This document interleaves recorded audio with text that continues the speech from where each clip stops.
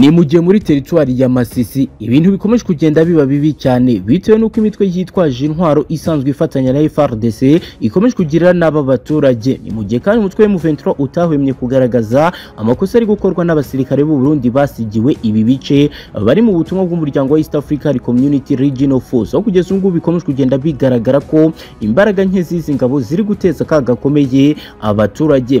Ni mu gihe kandi Perezida Kisekedi mu kiganiro aheruka kugirana n'abanyamakuru yatangaje ko ingabo za East African Community ntacyo ziri gukora ndetse ntacyo ziri gufasha Repubulika Iharanira Demokarasi ya Kongo uretse ingabo z'u Burundi ziri gukora. Ibyo leta ya Kongo iri kwishimira ibiro bikaba bigaragazwa nuko izi ngabo z'u Burundi zohereza cyangwa se zikorohereza imitwe yitwaje intwari ifatanya na FARDC kwigarurira ibice M23 yavuyemo. Ibiro bikaba ari byo byatumye izi ngabo z'u Burundi zishimwa na Kongo. Akaba ari amakuru mashya ajyanye n'ibirego bidasanzwe. Bikomeje kugenda bishinjwa izi ngabo z'u Burundi mu gihe kuri ubu ngubu ari ibyago ku baturage batuye i Masisi. Nibyo tugiye kugaruka mu buryo burambuye nguhaye ikaze.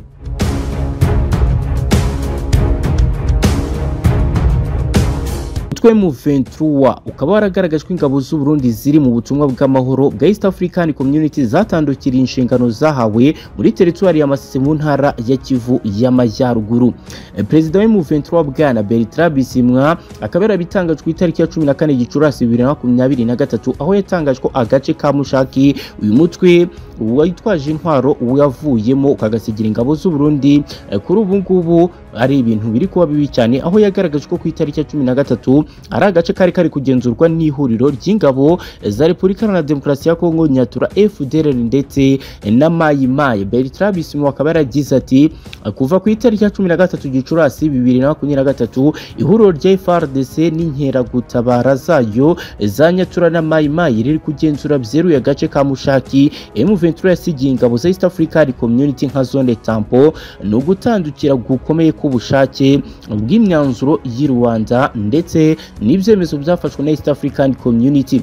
Uyu muyobozi wa M23 ku rwego rwa politiki akaba yaravuze kandi ko abatuye muri Mushaki bamaze iminsi bahunga kubera ihohoterwa bari gukorerwa n'ihuriro ry'ingabo za leta ndetse n'aba bafatanyabikorwa babo. Mu gihe kandi itangazo rya perezida bisimwa rishimangira amakuru amaze iminsi aturuka muri Masisi avuga ko ingabo z'u Burundi zemerera FARDC na Maimai na FDLR Nyatura eh, kwinjira mu bice zasigiwe na M23 ndetse ibi bikaba bibangamiye imikorere yashyizweho. Mu gihe kandi aya makuru akomeza kugenda avuga ko perezida Kisekedi yashimye bikomeye izi ngabo aho Felix Kisekedi ubwo yari ari mu nama ya SADC yaherutse kuvuga ko ingabo z'ibihugu bya East African Community ingabo za zaturutse muri Kenya, Uganda, Sudani y'Epfo nta musaruro zatanze ahubwo akaba yarashimiye ingabo z'u Burundi gusa. Ingabo z'u Burundi zikaba zigenzura Mushaki n'ibindi bice bitandukanye byari byarafashwe na M23 muri Masisi kuva muri Werurwe bibiri na makumyabiri na gatatu. Zikaba rero zisabwa kutagira uruhande na rumwe zibogamiraho aho ko kuri ubu ngubu bikaba biri kugaragara ko leta ya Kongo iri gushimira izi ngabo bitewe n'uko zikomeza kugenda zireka FARDC zikajya muri ibi bice. Abaturage batuye muri teritwari ya Masisi.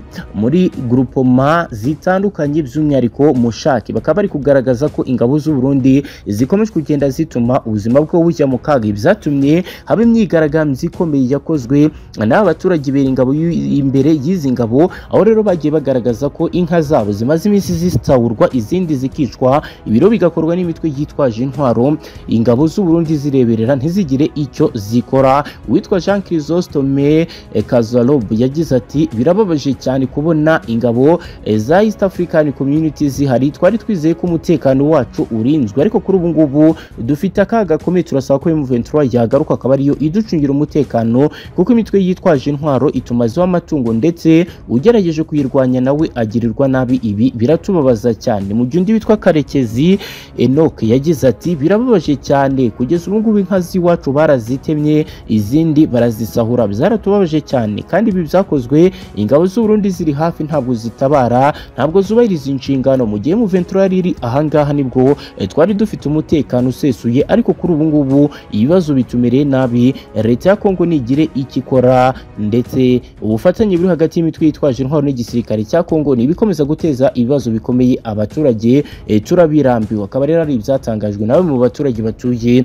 muri Mushaka. Hamaze iminsi hagaragara ubufatanye bwa FARDC ndetse n'imitwe yitwaje intwaro ibiro bikaba binyuranyije n'amategeko kuko aka ari agace kari muri zone tampo kagenzurwa n'ingabo eh, za East African Community. Ibi rero ni ibiri kuba mu gihe Guverineri w'intara Kivu y'Amajyaruguru ku rwego rwa gisirikare Lieutenant General Constant Ndima yagaragaje ko u Rwanda ari rwo rwatumye inshingano yahawe zo kugarura umutekano n'amahoro muri iyi ntara zimunanira. Perezida wa Repubulika Iharanira Demokarasi ya Kongo Felix Antoine Tshisekedi akaba yarashyize Kivu y'Amajyaruguru ndetse na Ituri mu bihe bidasanzwe aziha abayobozi bo ku rwego rwa gisirikare Lieutenant General Constant Ndima ndetse na Lieutenant General Ruboya John muri Ituri kugira ngo bagire uruhare mu kugarura amahoro bwangu. Muri izi ntara zari zikomeje kugenda zugarizwa n'ibibazo bike. Izi ntara ziracyari mu bihe bidasanzwe kuva muri Gicurasi bibiri na makumyabiri na rimwe. Aho abasirikare ari bo bakiziyobora ariko kugira ngo intego ya Kisekedi igerweho ibintu bikomeje kuzamba ndetse nk'uko raporo ya guverinoma ya Repubulika ya Demokarasi ya Kongo yabigaragaje imitwe yitwaje intwaro yariyongereye cyane. Muri ibi bihe ni nabwo abarwanyi umutwe witwaje intwaro wa M23 wari wongeye kuba wakubura ibi rero kandi bikaba byarateje ikibazo gikomeye cyane aho kuri ubu ngubu M23 yongeye kubura imirwano mu ntara ya Kivu y'Amajyaruguru. Lieutenant General Constant Ndima akaba avuga ko ubutegetsi bw'u Rwanda butishimiye ishyirwaho ry'ibihe bidasanzwe mu ntara ayoboye aremeza ko ari bwo ibintu byarushijeho kuba bibi. M23 mu kuboza bibiri na makumyabiri na rimwe kugira ngo isubize inyuma ibyari bimaze kugerwaho mu kugarura amahoro n'umutekano. Yagize ati ibyiza byari bimaze kugeraho byarahagaritswe ubwo M23 yongeraga kugaruka mu kuboza bibiri na makumyabiri na rimwe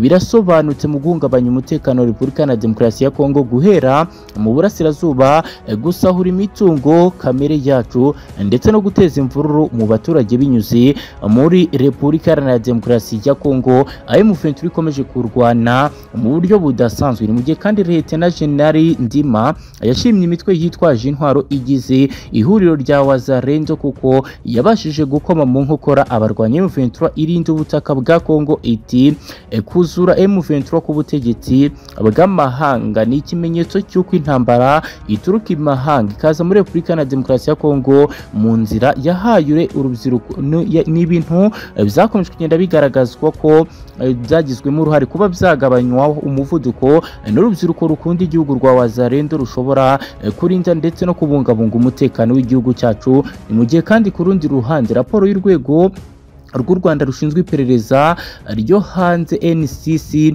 igaragaza ko ubwo M23 yuburaga imirwano Lieutenant General Constant Ndima ari we wafashe iya mbere yitabaza byihuse umuyobozi w'umutwe witwaje intwaro wa FDL urwanya ubutegetsi bw'u Rwanda Pacifique Ntawunguka uzwi nka General Omega ngo